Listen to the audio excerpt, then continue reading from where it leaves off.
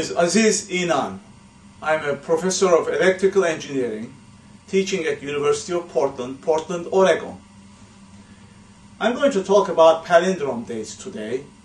One reason is because uh, next Monday, February 1st, 2010, is going to be a palindrome date in most of the countries in the world. The reason for that is if you write the date number of February 1st, 2010 in the day, month, year format as year 2010 and then February 1st. This number, which is 1st February 2010, happens to be a palindrome number. What that means is whether you read it left to right or you read it right to left, it's the same number. These dates are called palindrome dates. There are going to be 29 palindrome dates in this century. This is going to be the third one. The second one occurred in the year 2002. That was 20 February 2002. The one before that, the first palindrome date of this century, occurred in the year 2001.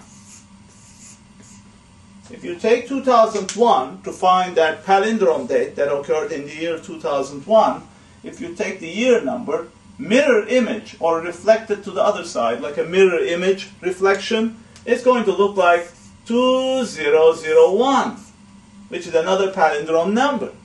So this date corresponded to 10 February 2001. Now, interestingly enough, the palindrome date before the one in 2001 occurred long time ago. That palindrome date, the last palindrome date of the second millennium, occurred in the year 1192. And again, if I take 1192 reflected, that corresponds to 29 November 1192. That was almost like 800 some years ago. This tells you how rare palindrome dates could be. As I said, in this century, there are going to be 29 of them.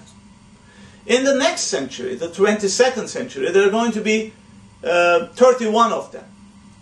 Altogether, in this millennium, we are in the third millennium, in this millennium, there are going to be 60 palindrome dates in this date format. 29 of them in the 21st century, 31 of them in the 22nd century. And there is not going to be any more palindrome dates between the 23rd and the 30th centuries of this millennium. It turns out palindrome dates are usually clustered are always actually clustered at the beginning of a millennium. Like in this millennium, they're only going to occur in the 21st and 22nd centuries.